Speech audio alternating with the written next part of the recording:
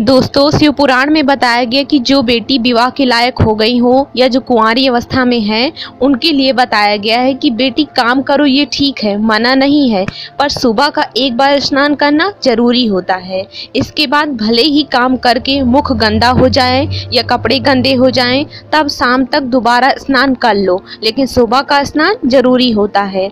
जो बेटियाँ दोपहर को स्नान करती हैं या रात को ही नहाती हैं, सुबह बिना नहाए खाना बना लेती हैं, सुबह एक बार भी नहीं नहाती हैं, कुंवारी हैं, विवाह के लायक हैं तो वो जहाँ विवाह करके जाती हैं तो वहाँ पर कुछ ना कुछ मानसिक टेंशन परिवार में खटर पटर होती ही रहती है। ऐसा शिव पुराण में स्वयं शिव भगवान ने बताया है।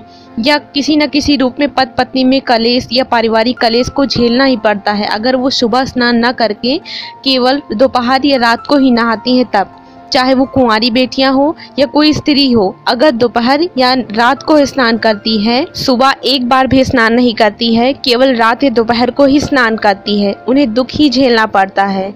इस उपाय को भगवान शिव ने अपनी शिव पुराण में स्वयं बताया है। जिन लोगों को मेरी बातों पर भरोसा ना हो, वो स्वयं शिव पुराण उठाकर पढ़ सकते हैं।